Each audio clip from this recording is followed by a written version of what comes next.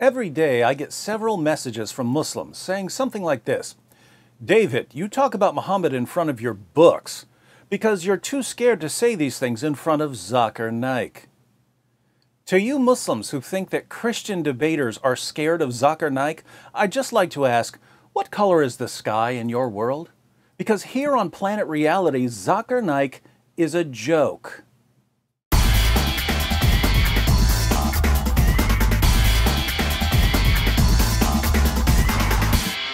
Naik is a joke, and I'm not saying that because I disagree with him. I'm saying it because he's a complete joke. Let me give you three quick reasons. First, Naik portrays himself as a champion debater, but he's never faced one actual Christian debater in his entire career. Compare Naik with someone like Shabir Ali. Shabir Ali has debated William Lane Craig multiple times. He's debated James White multiple times. He's debated Jay Smith multiple times. He's debated Mike Licona multiple times. He's debated Tony Costa multiple times. He's debated me multiple times. He's debated Sam Shamoun and Samuel Green and Jonathan McLatchie and Nabeel Qureshi. Shabir Ali obviously isn't scared to face experienced Christian debaters. Look up Zakir Naik's debates and you'll find that he's debated a handful of people you've never heard of. The only person Zakir Naik has ever debated that I've even heard of was William Campbell, and William Campbell wasn't a debater, he was a writer. Naik knew he wasn't a debater. That's why he agreed to debate him. Naik only agrees to face people who either have no debate experience or know nothing about Islam. Those of us who debate regularly and who deal with Islam regularly, Naik won't come near us. And we've been challenging him for years. Here's a debate challenge we sent him nearly eight years ago. I've challenged him to debate. James White has challenged him to debate. Sam Shamoun has challenged him to debate. Nabeel Qureshi has challenged him to debate.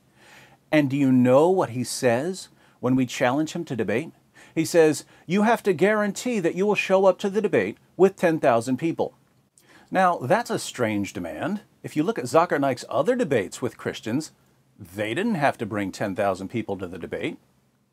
In the two Zakir Naik debates I've clicked on, there were only a couple hundred people in the audience. Why did Zakir Naik debate them?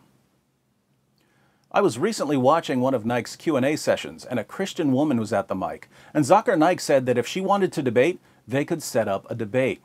Ask your question in two or three sentences. If it is more than two or three sentences, Yes. it becomes a lecture. If you want to have a lecture, Yes. sure, if you want to have a debate also, we can arrange. Can you? Okay. can come to All right. Bombay. No, it's not Bombay. I'm in the Gambia. Why was Zakir Naik trying to set up a debate with a random woman who stepped up to a mic at a Q&A session? By the way, right after he challenged her to debate, he changed his mind and said that he refuses to debate women. Then he said that he would be happy to debate a religious scholar, but once again, Naik didn't say anything about bringing 10,000 people to the debate.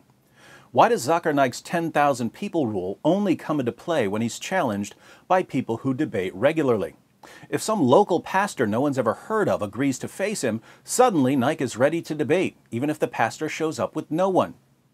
This is the age of the internet.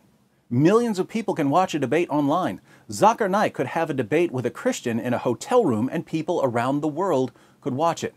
Why does he selectively apply his 10,000 people rule? Because he knows that in America, most Christians have no idea who he is, so they're not going to come out by the thousands to see him debate. He knows that Christian debaters aren't going to rent the Superdome to face him because we think he's a joke. So he made up a rule that he only applies to avoid actual debaters. Why? Because he's a complete, utter, total coward, and he knows that his arguments would be destroyed by any experienced Christian debater. And what do Muslims say when we point this out to them? Oh, Zakir refuses to face you debaters because you're beneath him. Wait, all of the actual debaters are beneath him, but the people he's debated, most of whom no one's ever heard of, they were important enough for him to face? How would we know who's beneath Zakir Naik if he's never once stood on stage with an experienced debater? How would we know? Naik is like a guy who walks outside his house, punches someone in the face, and declares that he's the heavyweight boxing champion of the world without ever facing any actual boxers. It's pathetic. What's even more pathetic is that Naik's followers are so gullible they think he's a serious debater. There are serious debaters in the world. Naik isn't one of them. Second, Zakir Naik's ministry pays people to convert to Islam. The Hindustan Times reports The special branch of the Mumbai police claims that controversial Islamic preacher Zakir Naik and his non-profit Islamic Research Foundation have illegally converted around 800 people to Islam by paying them using funds received from abroad. The allegation, if proved, could spell more trouble for Naik, who is being investigated for his fiery speeches and alleged extremist links. Mumbai police found that Naik's organization paid converts 50,000 rupees, some of which came from Saudi Arabia. Members of the organization would then radicalize converts and convince them to join ISIS. For you Muslims who are thinking to yourself, no, Zakir Naik would never do such a thing, you should probably study the Quran and the life of your prophet because Muhammad himself paid people to convert to Islam. And one of the reasons you pay zakat is to pay people to convert to Islam. Surah 9, verse 60 of the Quran lists the various uses of zakat. One of the uses is to attract the hearts of those who have been inclined towards Islam. What does it mean to use zakat funds to attract people's hearts? Muhammad shows us exactly what it means. In Sahih Muslim, number 6022, Muslims win the Battle of Hunain. And we read, On that day, the Messenger of Allah gave Safwan bin Umayyah a hundred sheep, then another hundred, then another hundred. Ibn Shihab said, Sa'id bin al-Musayyab told me that Safwan said, By Allah, the Messenger of Allah gave me what he gave me, and he was the most hated of people to me. But he kept giving to me until he became the most beloved of people to me. This guy hated Muhammad, but Muhammad kept giving him sheep by the hundreds until Muhammad was his favorite person in the world. In Sahih al-Bukhari 3344, Muhammad divides a piece of gold among four chiefs of a different tribe. We read, So the Quraysh and the Ansar became angry and said, He, i.e. the Prophet, gives to the chiefs of Najd and does not give to us. The Prophet said, I give to them so as to attract their hearts to Islam.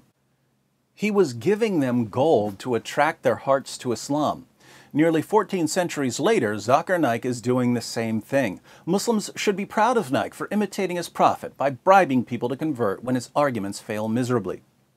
Third, a few years ago, when I was watching some of Zakir Naik's talks to get some video clips for some shows, I was impressed that so many Muslims showed up to hear him speak when the talks were in English. I know a few Christians from one of the areas he was speaking in, and I said to them, it's cool that wherever Zakir Naik goes, there are so many Muslims there who speak English.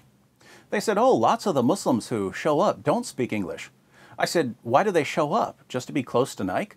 They said, no, the Muslim leaders bring them in to cheer. They tell the Muslims who don't speak English to cheer loudly whenever they hear other Muslims cheering. Now think about this. Zakir Naik's organization has to bring in Muslims who have no idea what he's saying to cheer for whatever he says. Why? Because they understand that many Muslims and even some non-Muslims don't know enough about what he's saying to know if his arguments are good or bad. But if enough people are cheering for what he says, gullible audience members will assume that he must be right. So Naik's organization loads the audience with people who cheer for him no matter what he says, because the cheering has a psychological impact on gullible audience members. This is the Islamic version of a laugh track for a comedian who isn't funny. And let's face it, a laugh track would be much more appropriate for a Zakir Naik lecture than for a comedian. Putting all of this together, many Muslims regard Zakir Naik as their best debater and top apologist. Who is Zakir Naik? He's someone who pretends to be a champion debater even though he's a complete coward who instantly backs down from every single experienced Christian debater who challenges him. He's someone who pays people to convert to Islam just as his prophet paid people to convert to Islam. And he has to bring in cheerleaders to tell his fans when to cheer even though they have no clue what he's saying, all so he can trick ignorant, naive, easily manipulated audience members into thinking that he's presented a serious case for Islam. Zakir Naik is a joke. He's always been a joke. He'll always be a joke. If this is, as many Muslims claim, the best apologist Islam has to offer out of 1.6 billion Muslims in the world, what does this tell us about Islam? Of course, there's much more we could say about Zakir Naik. If you'd like to know more about why he backs down from debaters, click on this video by Nabeel Qureshi, where Nabeel examines just five minutes of a Zakir Naik lecture and finds 25 mistakes. You heard me correctly. Over a five minute period, Zakir Naik averages one mistake every 12 seconds. Fortunately for Naik, he's speaking to people who don't know any better and who don't bother to question or challenge him. But they keep cheering anyway, along with all the Muslims who don't even know what he's saying.